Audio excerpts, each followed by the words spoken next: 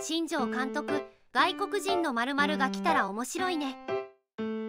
プライベートを含め昨年から大抵の質問には答えてきた新庄監督がここに来て補強の話になると沈黙を貫いている。先日も補強の話になった瞬間それはねと口元を抑えにやりその上でこうつぶやいた。故障で2軍調整中の磯端くんが帰ってきて浅間くん。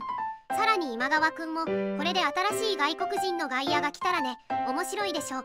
すごいかどうかまではわからないけど面白い。ファーストが守る選手が多く渋滞しているからファーストの外国人はいらない。二遊間も守れる外国人みたいなね。獲得が実現したら面白いチームになりますよ。面白いってなんだよ。センターラインの外国人依存はやめとけ。昨日のスタメンが今のところのベストだからな。有識者プロチームが二遊間を安易に出すわけないぞ。外野と二遊間ができる外国人誰かいるか？アルカンタラとハンソン。上川端が去年ぐらい打てたら文句なしなんやろうけどな。ビグボの場合面白いが本当に文面通りの意味でしかないから話半分ぐらいで聞くぐらいがちょうどいい。ちょうどフリーの筒香がおるやん。